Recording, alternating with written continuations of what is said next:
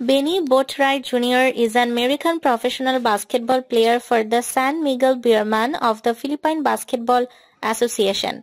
Boatwright is the son of police officer Bennie Boatwright Sr., who was an all-CIF shooting guard at Lutheran High. Boatwright attended Village Christian School where he was coached by Jon Shaw.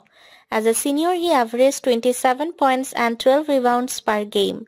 Boatwright led the team to a Southern Section 1AA championship, scoring 30 points and grabbing 13 rebounds in the title game.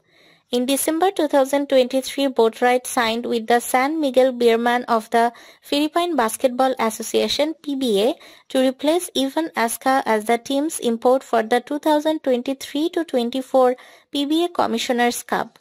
On September 16, 2022, Boatwright signed with the Indiana Pacers.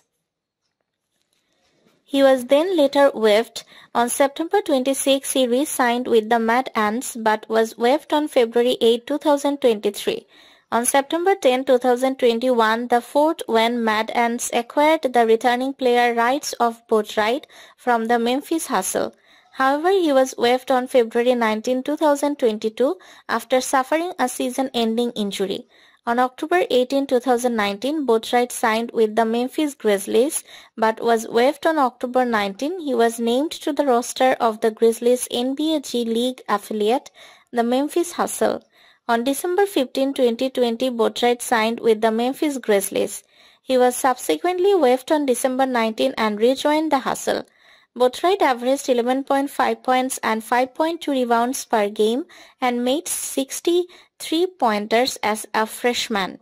As a sophomore, he averaged a team-high 15.1 points and helped the Trojans to two wins in the NCAA tournament.